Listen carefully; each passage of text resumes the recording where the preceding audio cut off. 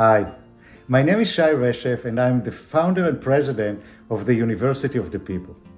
I believe that education in general and higher education in particular should be a basic right for all.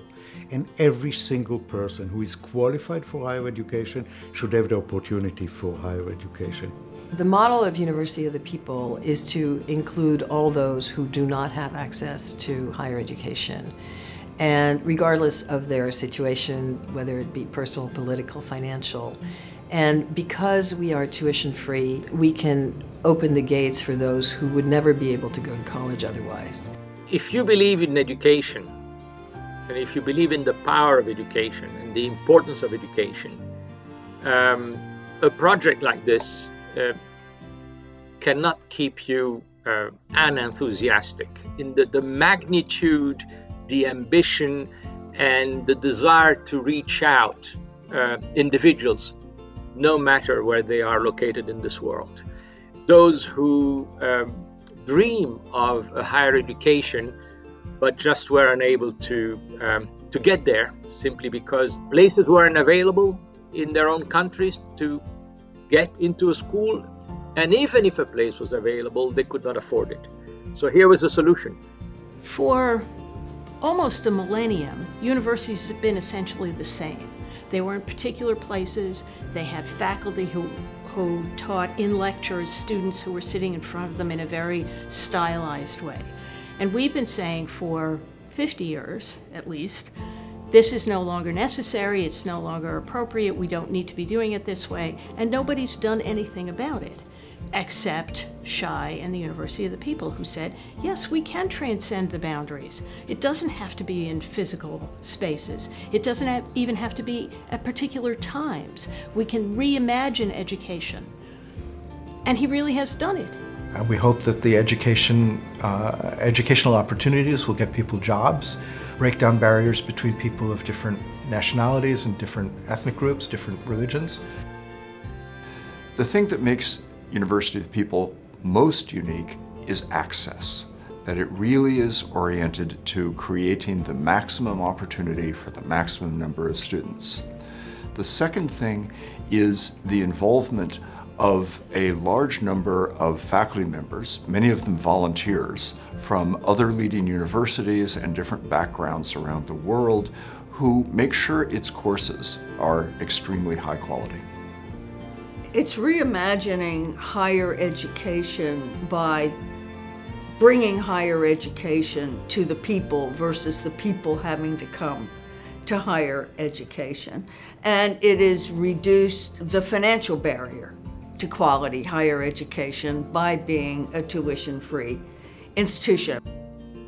I think that the biggest challenge is that uh, there aren't enough seats in higher education. Online higher education is the solution because in online classroom, nobody needs to stand in the back of the lecture hall. There is room for everyone.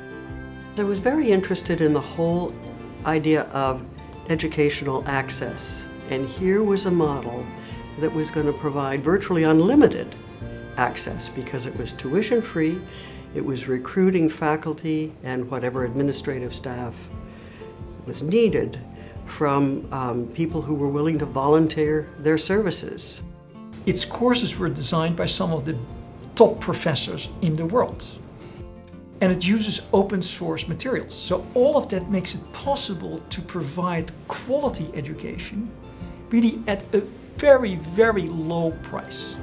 It's good quality and low cost, an unbeatable combination, I think. Second thing that attracted me is that its programs are not only in English but also in Arabic. Um, we have, um, you know, grandmother and and grandson studying together. We have couples studying together. We have uh, 16 years old students and, and 85 years old students. Um, most of our students are, um, are adult learners with, you know, with children and full-time jobs who are able to uh, combine their, um, their studies in their very busy life um, helping them to pursue better careers, better futures for them, for their community, uh, and for their country. Initially, I enrolled um, to University of the People, um, I think already like four or five years ago. And I was immigrant at that time. Uh, I just came to the uh, to the U.S. and also I had no English at that time, so my options were quite limited because most of uh, colleges they require um, some type of exam, English exam or something like that, in order to start uh, studying. And also because of my immigration sta status, I was not um, able to secure any type of loans uh, for education, and also I couldn't uh, get any financial aid or something like that from universities. So that's why my options were limited. And uh, when I saw University of the People, mostly what attracted me immediately is tuition-free model because uh, we paid only assessment fee at the end of the course. In addition, also I continued my education I was able to secure um, scholarships uh, in different universities. I received um, uh, offers from five universities with full scholarship and also um, some other offers with partial scholarship. We give full scholarships to, to refugees, but also um, a lot of refugees, when they are displaced and they arrive in a, in a host country, uh, one, they don't speak the language. Two, they don't have the papers to, to work or, or study there, and therefore they cannot enter the local school system. I came across University of the People when I was desperate. I didn't have um, any other choice uh, for me to continue my higher education. I was just being displaced from my hometown, from my country, and I was in a new country, which is Kenya.